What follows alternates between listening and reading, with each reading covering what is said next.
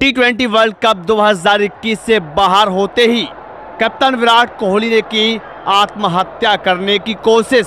उसके बाद दोस्तों, विराट कोहली ने इतना बड़ा कदम क्यों उठाया है? आखिरकार क्रिकेट तो क्रिकेट है।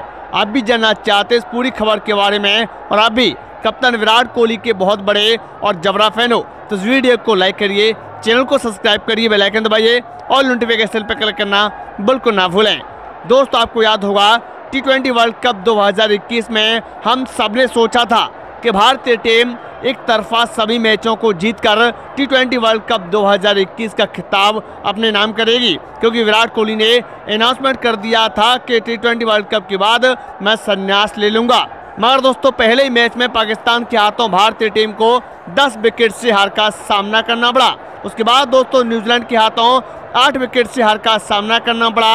और अब आखिरी मुकाबला रह गया है, जो कि नामीबिया के खिलाफ है। मगर दोस्तों, उससे पहले सभी भारत के जो फैंस हैं, उन सब की निगाह थी कि न्यूजीलैंड की टीम हार जाए कैसे भी करके और अफ़गानिस्तान की टीम इस मुकाबले को जीत जाए। मगर दोस्तों, ऐसा हो नहीं सका। अफ़गानिस्तान की टीम आठ विकेट से इस मुकाबले को हार चुकी है और इसके साथ ही भारतीय टीम टी वर्ल्ड कप 2021 से बाहर हो चुकी है।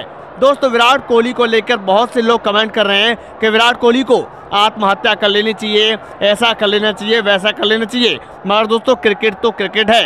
क्रिकेट में भाई ऐसा थोड़ी होता है, गेम तो गेम होता है।